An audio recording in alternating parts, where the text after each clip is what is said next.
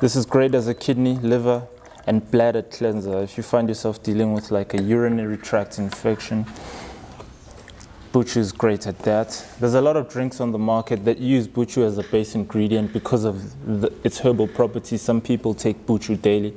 It's great at lowering BP. It's an antifungal, antiviral as well. It's good for gut health. Make sure you're following us on at least two social media platforms in case they ban us on any one of the other platforms so that you can keep in touch with the herbal medicine content. Peace. Enjoy your watching. So, if you're looking for something that's gonna be a daily for you to control issues around bladder, issues around kidneys, uh, issues around gut problems, and then for some people, the taste is pretty nice. You can add a bit of honey if you want. Just for taste, it's not bitter. The taste profile is not a bitter taste profile. Maybe we can also show them a picture, Tami. Yapuchu. Pull up a picture for them so that they can see the plant in nature by its identify. And then Rona, we worked with the crushed herb right here.